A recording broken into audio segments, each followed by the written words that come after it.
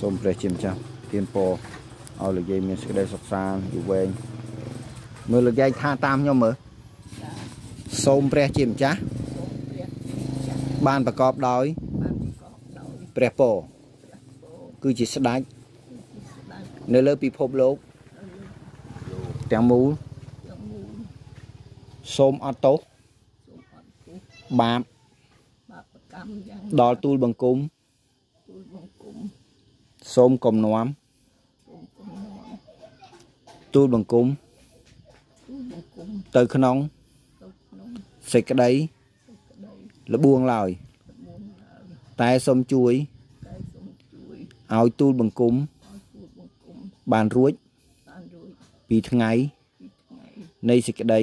នៃសេចក្តីអាក្រក់វិញអាក្រក់វិញសូមប្រទានអាហារ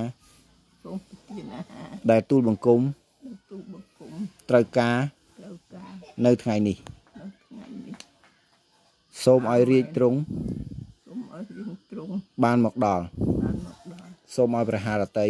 សូមឲ្យប្រហារតីរបស់ព្រះអង្គឲ្យព្រះអង្គបានសម្រេចបានសម្រេចនៅផែនដីនៅផែនដីនេះ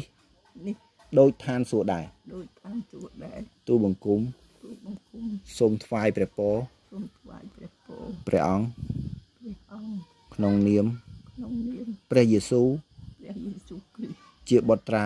ជាបុត្រានៃព្រះនៃព្រះដ៏មានដ៏មានគ្រប់គ្រប់ព្រះចេស្តាគ្រប់វិជាស្ដាអាមែនអាមែន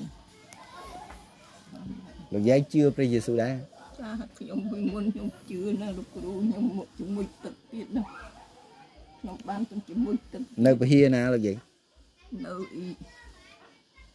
វានៅស្វាយពីផុនអញ្ចឹងហ៎ចាគ្រូកងវាឈ្មោះអីចាំអត់អ៊ីអត់ចាំទេលោកគ្រូអើយយូរហើយពហិនឹងបាប់ទីសឬក៏មេតូឌីសដូចគេថាមហានិកាយមិនខ្ញុំមិនដឹងផងគេឲ្យជាមួយទឹកក៏ជាមួយទៅអាម៉ែនក៏អាម៉ែនចាំទេចា